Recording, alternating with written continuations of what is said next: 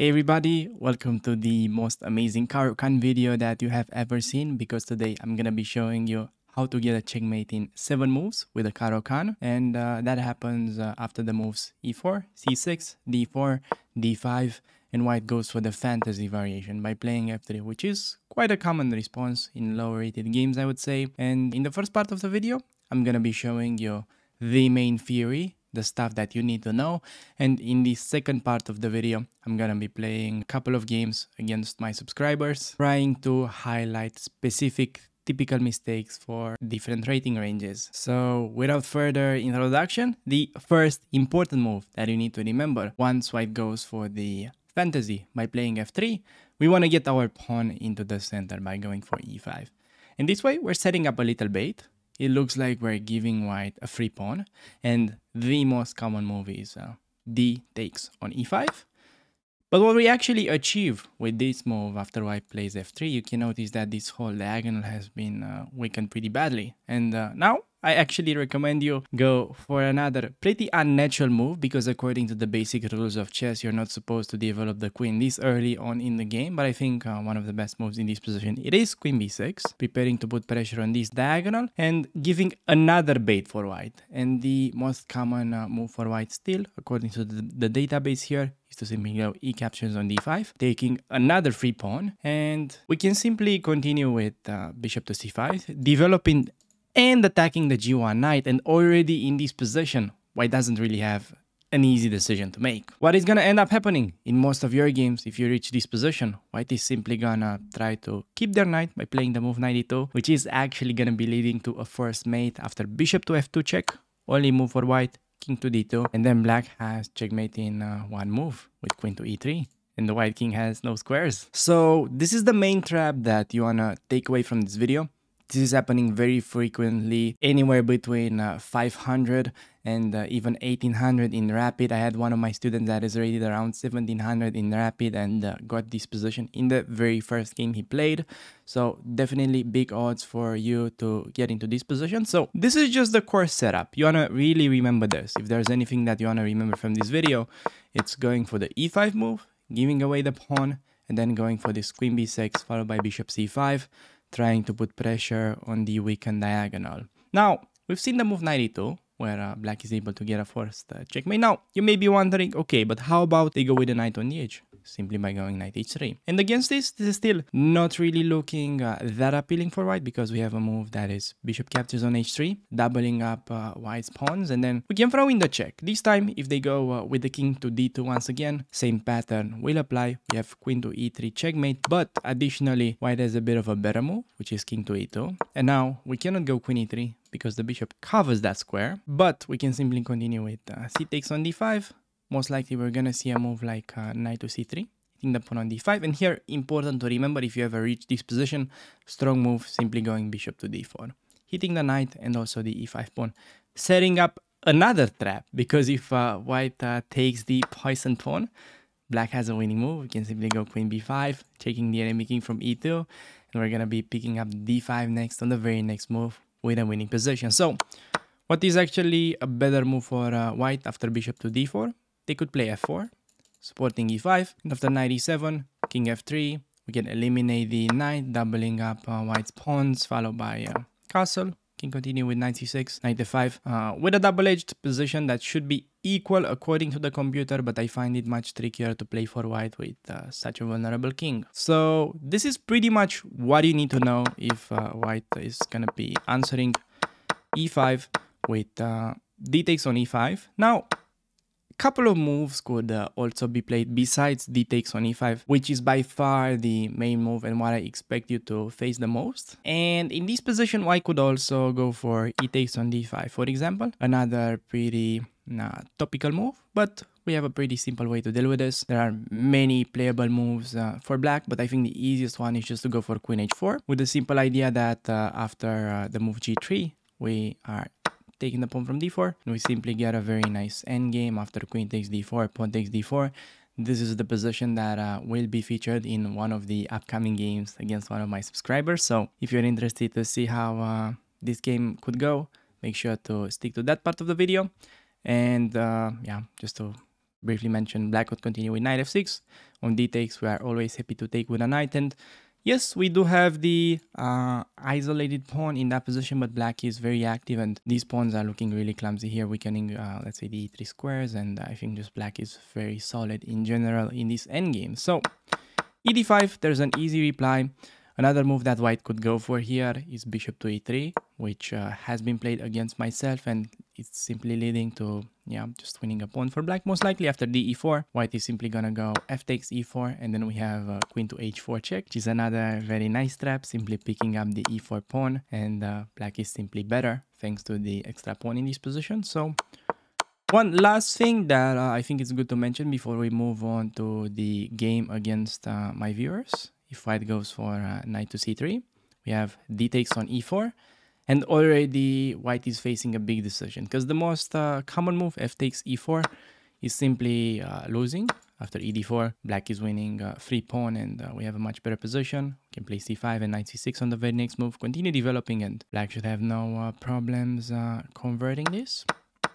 So it would be a better move for them to meet uh, d takes on e4 with uh, d takes on e5. But still, after queen d1, knight takes on d1, and now I like the move knight to d7, letting white to take because here uh, black would be very comfortable uh, playing against the isolated pawn. And in case white tries the, let's say, trickier approach with f4, trying to cover e5, we have this very strong move f6 because we're lacking a little bit of space. And after this move, white is pretty much forced to go uh, pawn takes on e6 allowing knight takes on f6 and uh, black is very comfortable. Can continue with knight b6 bishop f5 bishop c5 can castle either way and black has a very easy game. And additionally to this line you may be wondering but okay what if after f6 white is trying to be more aggressive and plays e6 hitting our knight? We're going to be playing knight c5 now only move for white to protect the pawn is to advance with f5 now we simply start this kind of undermining game that is fairly typical in many openings, such as the Queen's Gambit, let's say, that comes to mind. We can go g6,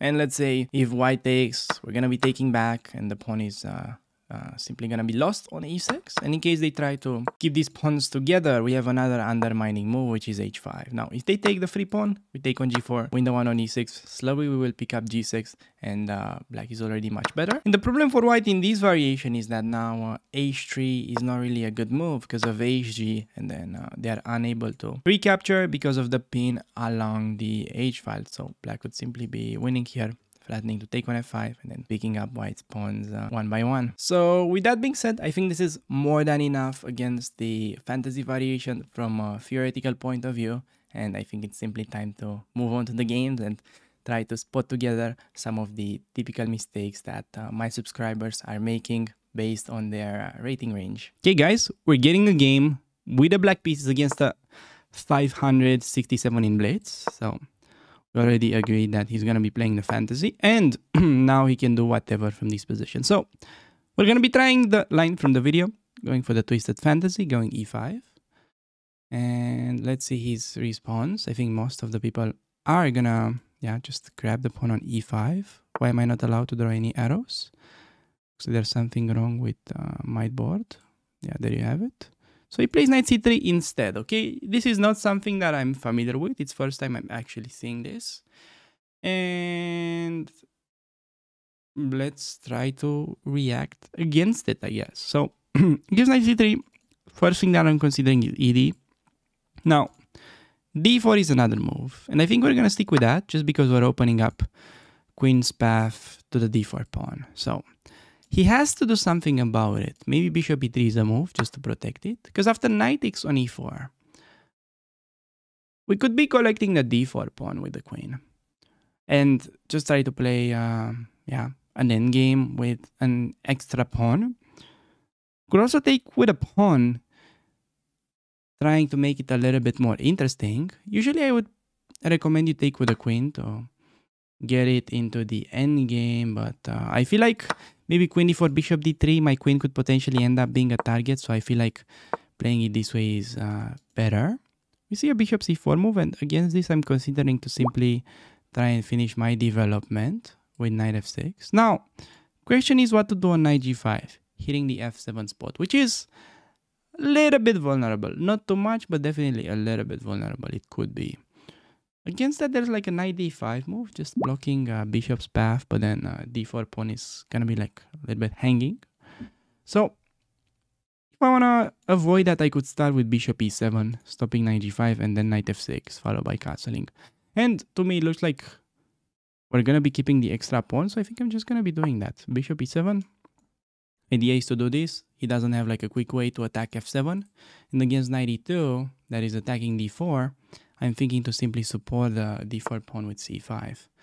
And then simply try to finish my development, keep the extra pawn, get myself castle, have a safe king, and then looking forward to, uh, yeah, get the conversion. Where can I find the game against uh, Dina Belenkaya? That is actually very good uh, question in the chat, uh, Radu. Let me actually link you to that. So yeah, by the way, guys, for those of you that are going to be watching this video as well, if you haven't checked out my game against uh, Dina Belenkaya, the link is in the chat right now and it will be in the description. So make sure to check that one out. And okay, opponent simply castling. Gonna be playing knight f6. Idea to castle, finish my development. And we do have the extra pawn. I'm a little bit down on time, so I'm getting um, a little bit below three minutes, which is, I think, still reasonable. Thinking about the fact that uh, we spent a little bit of time just to figure out the best way to develop, and then we're going to be playing a little bit faster since the position will become easier. So, knight c6, simply protecting my pawn, waiting for cd, cd. Gonna be castling short, otherwise knight g5 is no longer that effective as we're gonna be castling. Do not take on e4 for no reason because you're simply opening up rook's path.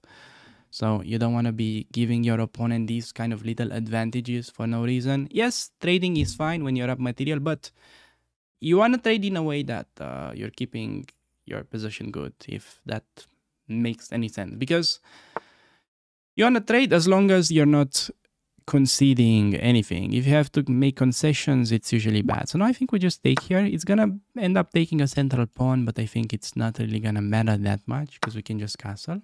Against CB, thinking to simply take it with a bishop on knight takes on f6. I can take back with a queen. Uh, I think that is completely fine. I can take with a knight, but then d4 is kind of hanging, which I'm not really a huge fan of.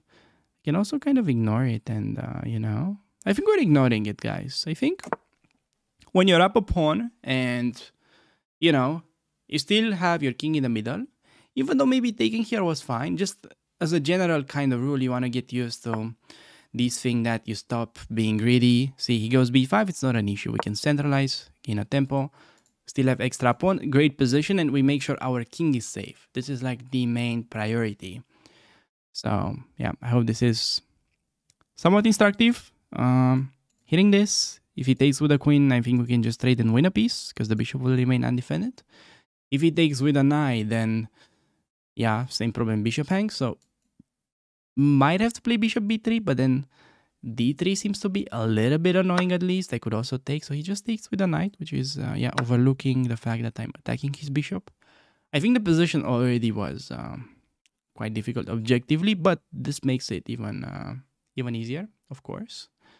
With the extra piece now, because we're having an extra piece, you may be wondering, okay, what do we do next? Okay, so you're having an extra piece, we should be looking forward to trade as many pieces as you can. I'm pretty sure you've heard this before, but you do want to keep an eye on making any possible exchanges. Yeah, but make sure you exchange without making such big concessions because sure, most of the times trading will uh, yeah make it very easy, but sometimes trading can also backfire if let's say you trade your good pieces for his bad pieces. So I mean those situations are in general quite obvious. It's not really any kind of like rocket science. You really figure it out whether you want to trade it or not. So I don't think you need like a separate video about that kind of topic. But um, yeah, I think we're just gonna keep exchanging in this. Um, yeah. By the way, guys, for those of you that are still sending challenges to uh, to play, be part of this video. Keep them up. I'm gonna be taking them next. Not going anywhere. Not, not gonna be closing the stream at least not that I know of. And uh, yeah, just gonna be using a little bit of a tactical trick, pinning the knight, giving away on the c4 knight for now because we're gonna be winning it uh, back and keeping the extra piece. So mm. he also doesn't have an easy time defending because as you can see, my knight is covering both places where the bishop could protect. So after bishop f4, I'm just gonna be trading queens because I could take with a bishop, but always you want to trade queens with the extra piece. You want to get it into the endgame, trade all the pieces, and then um, yeah, get it. Let your opponent only with the king alone. For sure, you're not gonna be losing when he only has the king. so um, okay, gonna pick up the queen as well. I guess opponent forgot about it, but it's not a problem. Following you on Insta, love your content. Thank you for that, Iman. Appreciate it. That is why you guys as well should follow my Insta if you haven't. You're gonna get a lot of sexy picture of myself in your feed. Okay, I'm kidding. I never post, but you should follow. So I'm gonna go queen e4, hitting g2. Now approaching checkmate. So still it's about trading, but since we have such a such a huge lead in uh, development, I'm definitely down to start creating some threats. Again, it's not like really the main thing that I, I'm going to be prioritizing in these scenarios, but now with the extra queen, it's much easier to make threats. And uh, opponents also finds the resign button. This is a saying that we have. And yeah, I like to thank my opponent for the game, participating into this challenge. Even though he's only 500 rated, we're really encouraging people to, uh, yeah, play more chess and they're gonna improve slowly as long as they enjoy what they're doing and keep playing.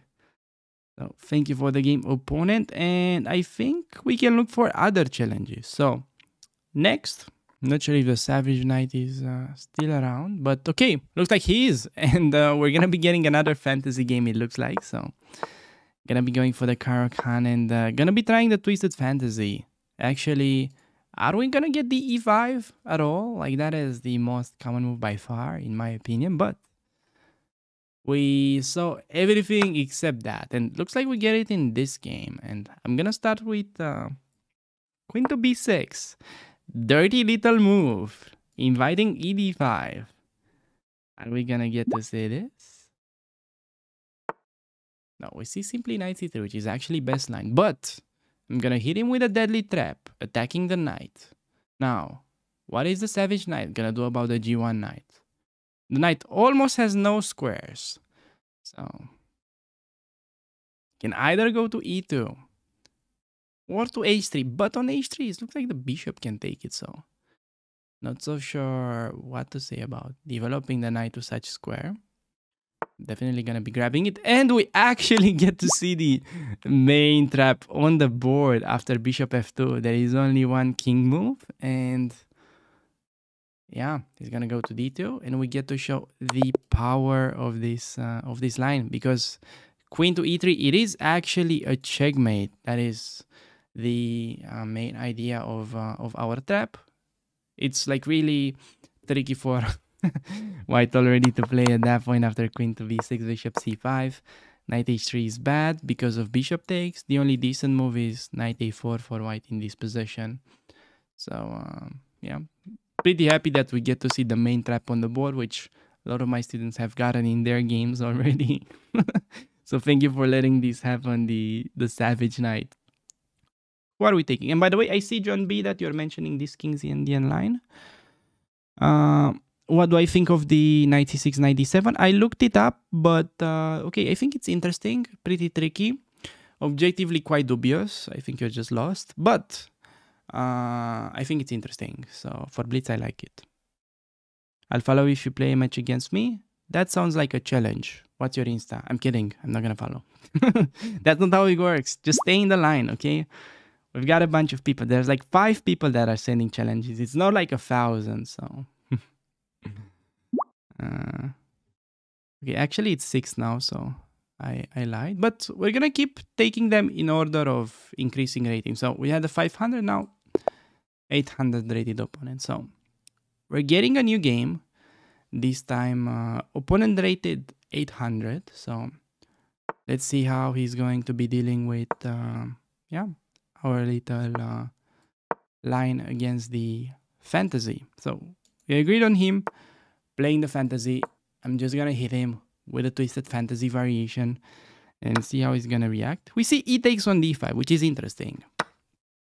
Normally you'd expect the e5 from white, but we see this pawn capture. And there is not uh, that much theory in this position. You could play many things, but I think easiest is just to give this check because now that the e pawn took, the path towards the d4 square has been cleared and we can simply go for this endgame with at least equality. So I usually think about it just way, just this way. If they go ed, there is queen h4, we pick up on d4 and that should be at least equal. Just take it from there, okay? Um, just play game of chess. You can't win all of them from the opening, but as long as you get, you know, this kind of position, computer keeps it equal.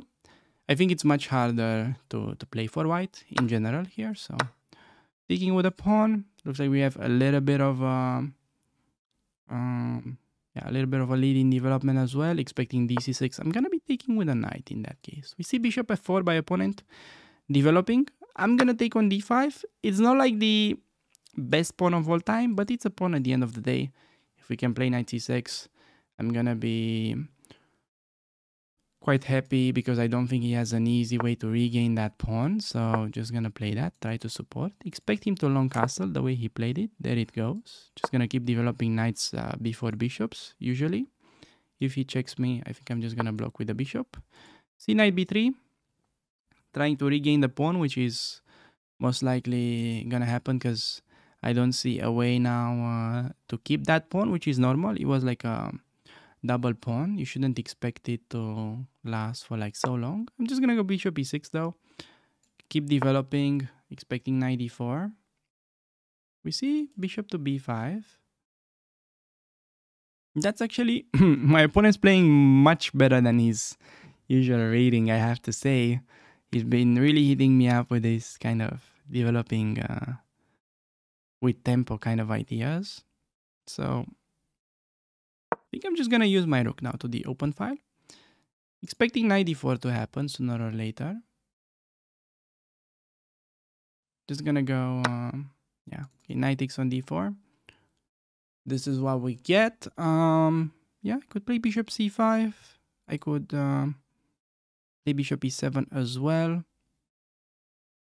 More of a fan of bishop c5 just because we're attacking the knight, putting a little bit of pressure. So let's see. Hitting the knight on d4. Expecting some kind of 92 and then I'm gonna be probably castling, trying to get get out of the center. If 96, I think taking is fine. We get like a pretty uh, nice pawn structure now. We kind of improved it a little bit. Um, yeah, we no longer have the isolated pawn and have an easy way to castle. Then potentially looking for tonight before ideas maybe trying to attack on the queen side. See rook e1. I can throw in this move if I want to be annoying, but there's going to be rook f1, so don't see such a great follow-up afterwards. Um, I think a6, bishop d3, knight b4. Definitely something to be considered. Maybe even uh, a6, bishop d3, e5, trying to grab the center. Mm, definitely, I have more than one way to play this, but I like a6. May see even bishop takes, which I think I'm gonna just take with a rook. So that could follow up with knight d4. I'll be forced to take because pawn on e6 is hanging. Takes with the rook. I can double up.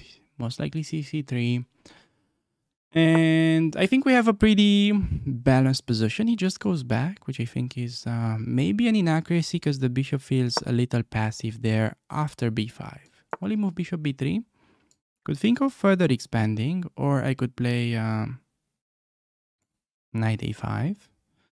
Think with knight e5 is kind of giving away d4 square, which I'm not so sure that I'm ready for. But I think we start with bishop f2 misplacing uh, the rook a little bit to f1 and then we drop back to b6 and it looks like I'm just moving back and forth like a monkey but bishop was on c5 last time and I'm trying to make the argument that we have opened up the file which um, may help a little bit okay I'm gonna go knight a5 not only playing for the cheap trick knight takes b3 utilizing the pin but also preparing knight to c4 we saw you uh, eyeballing the chat. Okay, my chat is mocking me now for uh, ignoring the questions and focusing on the game. That's my bad. but I'm gonna get back to you uh, in between games, so don't worry. so expecting bishop a2 now, and then knight c4, bishop takes, probably rook takes, and just looking forward to double up. That would be the plan. Yeah, knight e3 could be an idea now. So I'm just gonna take with the rook, keep the open file, preparing to double up. If b3, just rook back to c6.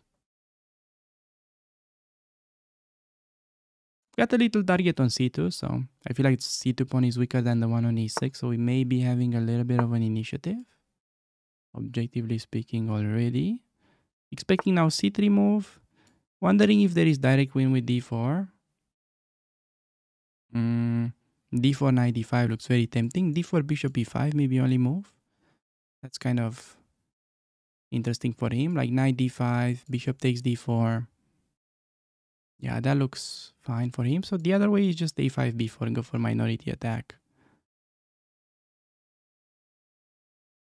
Hmm, I think I like a5, just uh, going for the more like sort of thematic. You always need to consider these kind of concrete ideas. And now, while there is b4, just going for a slightly better game, we actually have a tactic. So you can even try to pause the video and find uh, the clear win for black in this position because with g4 now the bishop on f4 is a little bit loose we have rook f4 followed by bishop e3 and it's not like winning the house but we're winning two pieces for the rook which is big advantage in general most of uh, the position he has no pawns even so we just need to um, yeah keep being active. If I play e5, there is g5 and d5 pawn drop, so I want to be super careful. That's why I'm going to play king f7.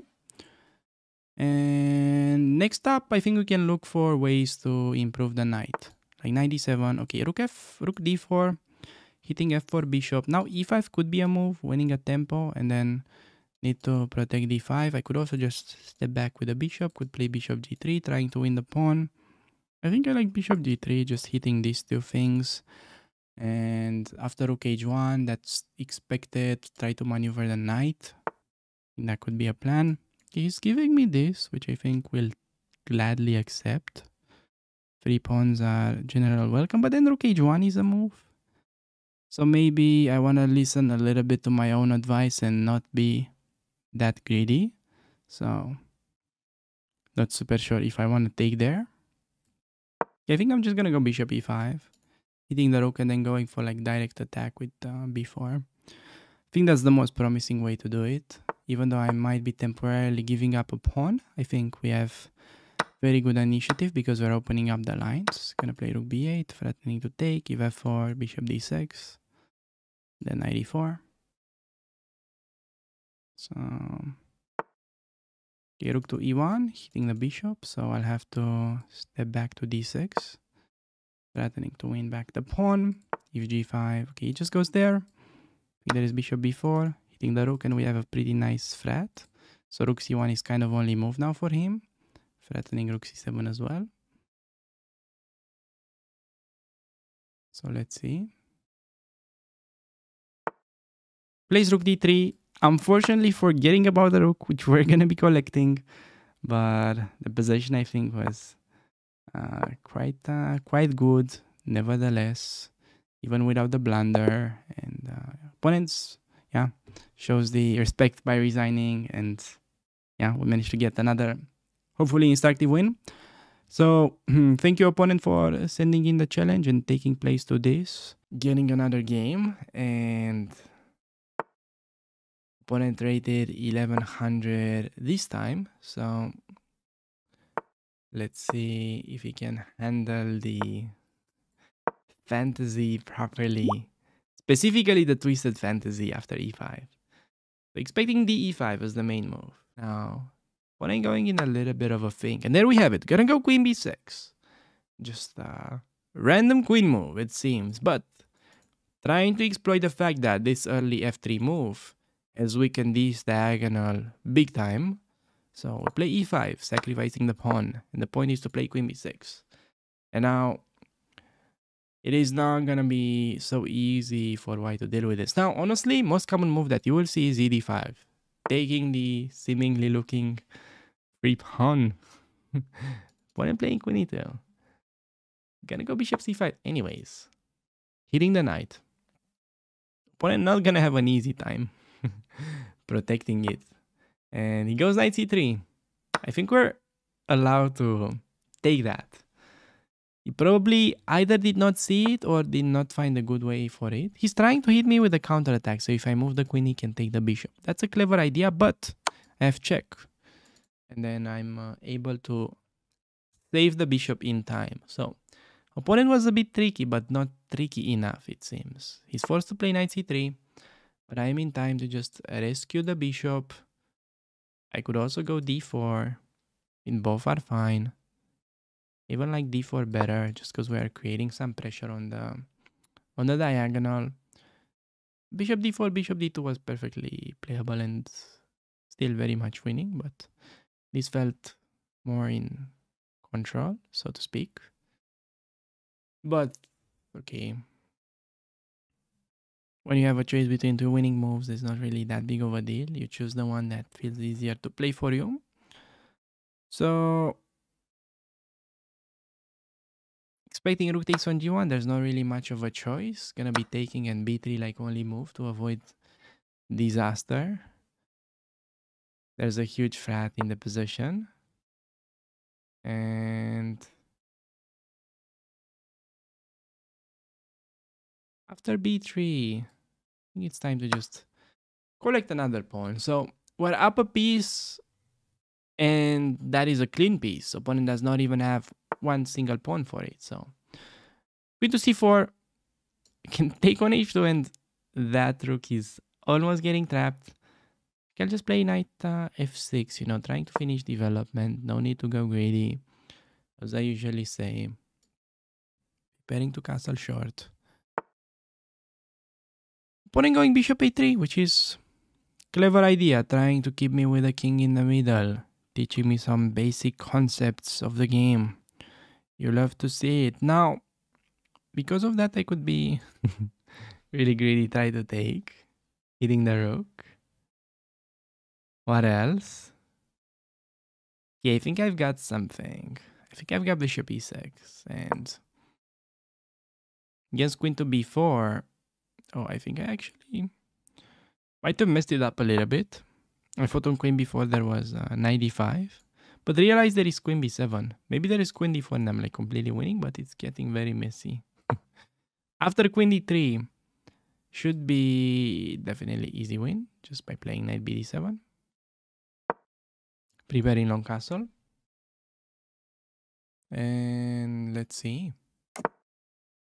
He does go long castle himself. Mm. Still, this is always free to take, but then bishop e2 think I've got a great idea now. Queen a5. Oh, the problem is there is queen d6 and he's defending and threatening mate. However, I've got c5. Yeah, that should be good. That should be good, but I think I'm just gonna castle just for the sake of simplicity. I don't want to get you guys in like risky positions for no reason. I can play with the king in the middle. Not so sure you can do the same. So decided to castle.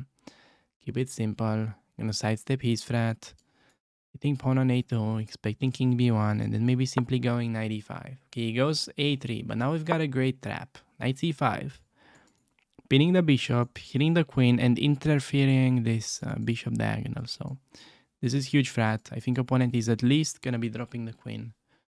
So let's see how he's gonna react against this uh, knight c5 move. Okay, we see queen to e3, which is avoiding the threat against the queen, but there's nothing to stop queen takes on a3, and it's gonna be a force mate on the very next move.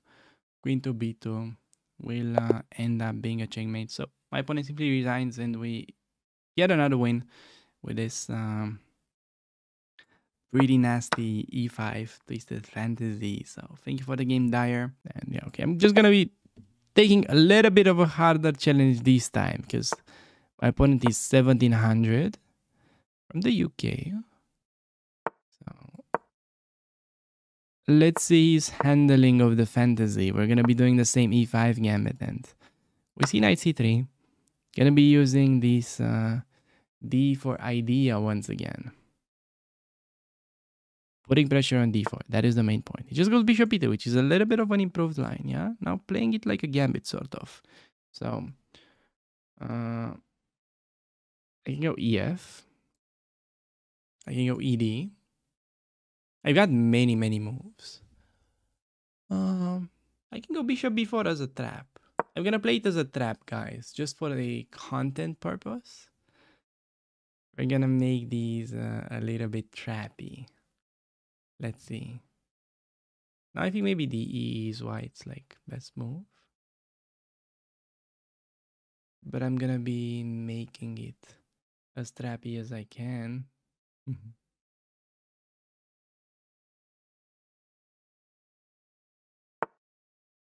Okay, we see a3. Now, the trap was if he goes fe, I wanted queen h4, g3, queen e4, because the knight was trapped, so he's avoiding that, but still we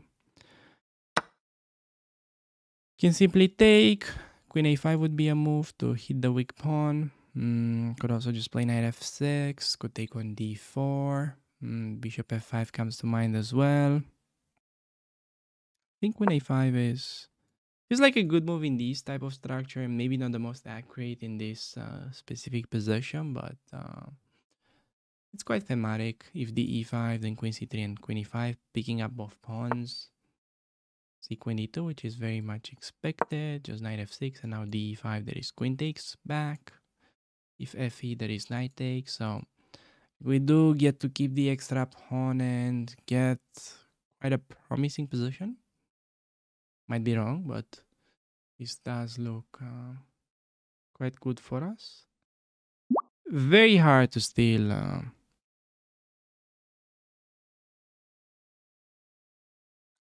Um, you know, just finish development for white. Very uncomfortable position to play.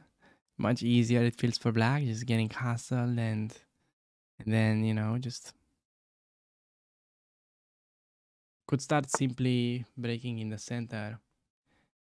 Is this title Tuesday? No, Navi. Now we're actually doing the video that we planned with like the six move checkmates, and I'm just playing some viewers in the fantasy. So in the first part, I'm gonna be explaining like the trap, sort of like Gotham does it, and in the second part, I'm playing the viewer. So see, I- am learning. I'm learning from the from the sheet. Okay. Uh, White simply played bishop to e2. My idea is that um, hmm, not sure really how he's willing to continue development. I'm gonna get castle and knight h3 still kind of uh, yeah, dubious because of bishop take. So I don't think white is actually willing to allow that. And other than this, we may very well just swing in the rook over. Maybe. Yeah, just continuing with bishop f5 at bd7.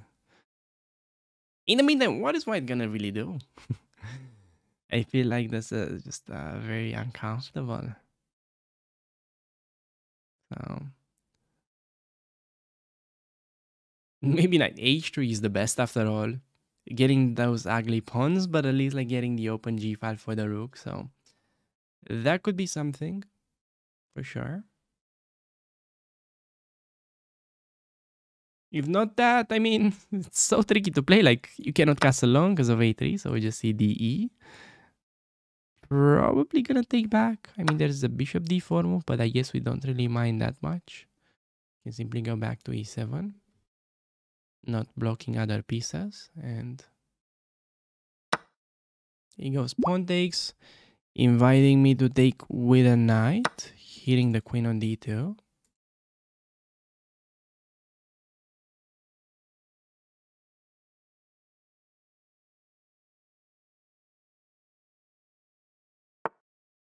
Queen to d4. I could exchange queens, go for the winning endgame. That might be fairly instructive. I could try to make my opponent's life harder and keep queens, which is perhaps even better. So I'm gonna do that just because I feel like the queen can really be a target in this situation with rook to d8 and so on.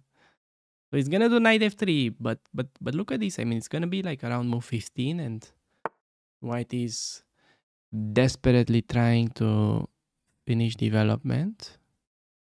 Okay, he does that, hitting my knight. I can protect it with both rook e8 or bishop f5.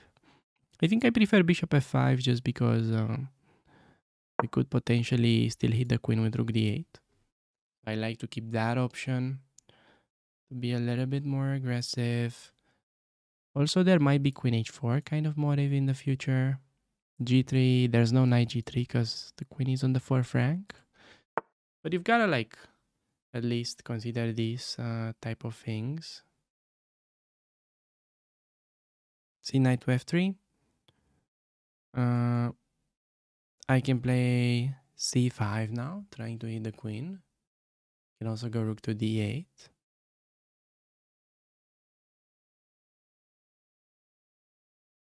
I think I like rook to d8 more, just to get another piece involved into the action. And yeah, we're hitting the queen. C queen to b4. Once again, I think we're gonna keep being annoying. Avoiding the queen trade. Gaining more time. Okay, what else is White gonna try to do? Not so many queen squares available. queen c4, knight d6, maybe juicy, but there's queen f4, saving the bishop. Okay, queen to b2. Now, I'm definitely looking for a deadly knight move, like knight g3, hitting the rook. Oh, that is gonna be so, so good content. Look at this. This is literally going in YouTube Shorts and TikTok next. So, playing knight g3, hitting the rook, opening up queen's path, expecting hg, queen e3, king f1, and then rook takes d3 is the brilliant move. It's gonna be forcing checkmate. c takes, bishop takes, queen e2, bishop takes, king e1, bishop f3, king f1 only move, queen e2, king g1, queen takes g2 checkmate. That is forced. That is gonna happen, guys. Did I go to Hikaru mode there? I'm sure you can visualize this. I mean, you should. Are you even serious about your chess improvement if you're not visualizing this? Come on, guys. Come on. Stop being lazy. Never mind. Opponent spoils all the content. Thank you for that. Just gonna take the rook. quick check. But I'm gonna show you this beautiful line uh, in the in the post game analysis. Uh, just gonna be taking now, keeping it very simple, winning another pawn, hitting the rook. Time to finish development. The only reason why I'm behind in development is because I have more pieces to develop, so that's not too bad.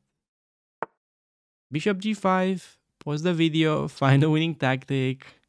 Can try to eliminate bishop's defender by taking on f3 we check and uh, then there is queen g5 winning uh, two pieces for one rook but we end up with the extra knight uh, at the end of the day so it cannot be too bad let's give a check forcing king f1 does not uh, go to f1 but uh, also just realized I cannot take the rook because there will be queen 8 and I'm gonna be getting back rank mated which would be a little bit awkward so just gonna go rook d8 not only hitting the rook but uh, playing for checkmate which I think is even better. Taking rook is perfectly fine. This was forcing mate. So we managed to get the win Guess the 1700. Thanks a lot for making it this far into the video and in case you're interested to perhaps learn more about the Caro-Kann defense. I'd like to invite you check out my rating climb that I did with the Caro-Kann where I'm taking a fresh account from 500 and getting it up all the way to 2500. So please click the video that will appear on the screen and I will see you around on the channel. Take care.